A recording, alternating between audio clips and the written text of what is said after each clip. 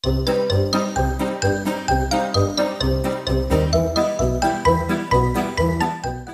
Friends இன்னைக்கு நம்ம இந்த வீடியோல என்ன பார்க்க போறோம்னா சிக்கன் சூப் தான் நம்ம இப்போ இந்த வீடியோல செஞ்சு பார்க்க போறோம்.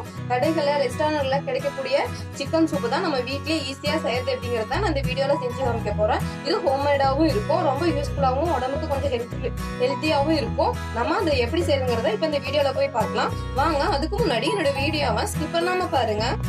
இப்போ நான் ஒரு நூறு கிராம் சிக்கன் எடுத்திருக்கேன். அதுவும் எ- எலும்பு தான் எடுத்திருக்கேன். அதுல வந்து எலும்புல இந்த மாதிரி சதை இருக்கிறதா பார்த்து தான் நான் வந்து எடுத்து வச்சிருக்கேன். அப்பதான் வந்து சூப்புக்கு வந்து நல்லா டேஸ்ட் கொடுக்கும். நம்ம கறியா இருந்துச்சுன்னா அது சக்க சக்கையா இருக்கும். அவ்வளோ ஒரு டேஸ்ட் கொடுக்காது. இந்த மாதிரி எலும்போடு இருக்கிற கறி தான் வந்து நம்ம சூப்புக்கு கரெக்டா இருக்கும். ஸோ நம்ம இந்த மாதிரி எடுத்துக்கலாம். இது ஒரு நூறு கிராம் நான் இப்போ எடுத்து வச்சிருக்கேன்.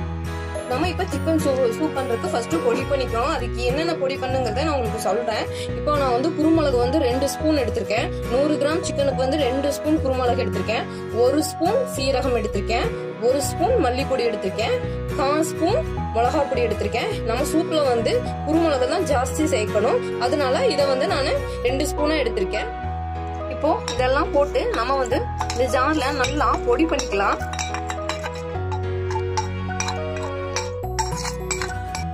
இப்போ வந்து நம்ம ஜார்ல வந்து இதெல்லாம் போட்டதுக்கு அப்புறம் கடைசியில வந்து நான் ஒரு ஸ்பூன் கசகசா எடுத்திருக்கேன். கசகசா வந்து நம்ம சிக்கன் சேர்த்துறதுனால கொஞ்சம் சூடு பிடிக்கும். அதுக்காக கசகசா போட்டோம்னா நமக்கு கொஞ்சம் குளிர்ச்சி தன்மையா இருக்கும். அதனால நான் வந்து இதோட கொஞ்சம் ஒரு ஸ்பூன் கசகசா போட்டு இதை நல்லா இப்போ பொடி பண்ணிக்கணும்.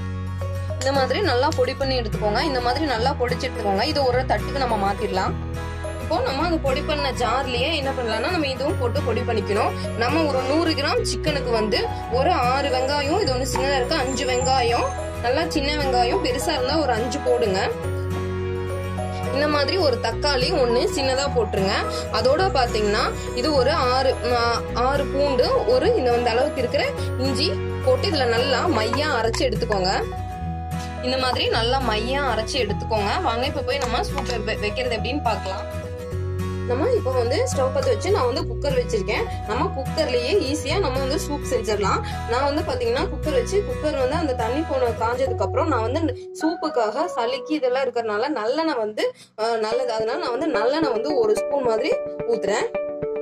நல்லெண்ணெய் காஞ்சதுக்கு அப்புறம் நம்ம வந்து எடுத்து வச்ச சிக்கனை வந்து அந்த நல்லெண்ணெயில கொஞ்சம் போட்டு புரட்டிக்கணும். நல்லா இந்த சூட்ல இந்த மாதிரி வணக்கினதுக்கப்புறம் நம்ம அரைச்சி வச்சுருந்தா அந்த பேஸ்ட்டை இதோட போட்டு நல்லா வணக்கி விட்டுறணும். எல்லாம் மிங்கிள் ஆகுற மாதிரி இந்த மாதிரி நல்லா வணக்கி விட்டுருங்க. அந்த பேஸ்ட் ஊற்றினதுக்கப்புறம் நம்ம வந்து பொடிச்சு வச்சதையும் அந்த பொடியையும் இதில் போட்டு நல்லா பெரட்டி விட்டுறணும். இப்போ நம்ம எல்லாம் போட்டு ஒரு வணக்கு வணக்கி விட்டுட்டோம். வணக்கினதுக்கப்புறம்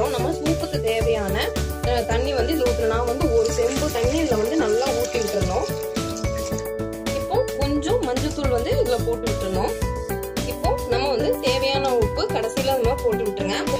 போட்டு நல்லா கலந்து விட்டுருங்க. இப்போ நம்ம எல்லாமே குக்கரில் போட்டாச்சு. நீங்க வந்து இந்த மாதிரி இருக்கும்போது கொஞ்சம் எடுத்து குடிச்சு பாருங்க. காரமோ உப்போ பத்தலைன்னு தோணுச்சுன்னா காரம் பத்துலேன்னு தோணுச்சுன்னா கொஞ்சம் மிளகா அப்படி போட்டுக்கோங்க. உப்பு பத்தலைனாலும் கொஞ்சம் உப்பு போட்டுக்கோங்க. இப்போ நம்ம இதை போட்டு விசில் விட்டுறலாம். ஒரு நான் ஒரு ரெண்டுலேருந்து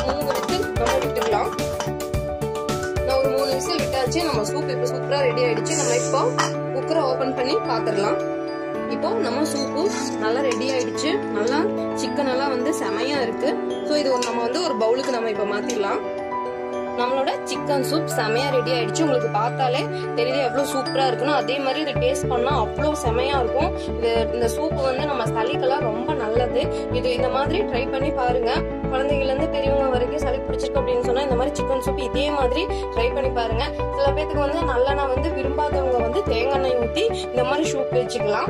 நம்ம வந்து இது கூட எக்ஸ்ட்ரா வேணும் அப்படின்னா பட்டை கிராம் வந்து ஆட் பண்ணிக்கலாம். ஆனா நான் வந்து ஆட் பண்ணல. இந்த மாதிரி சூப்பு வச்சு ட்ரை பண்ணி பாருங்க. சிக்கன் சூப்பு செமையா இருக்கும். உங்களுக்கு பார்த்தாலே தெரியுது. எவ்வளவு செமையா இருக்குன்னு. நல்ல கறியெல்லாம் வந்து சூப்பு சூப்பரா இருக்கு. நீங்க கண்டிப்பா இது வீட்டில் வந்து ட்ரை பண்ணி பார்க்கலாம். அந்த மாதிரி ட்ரை பண்ணி உங்களுக்கு ரொம்ப பிடிச்சிருந்து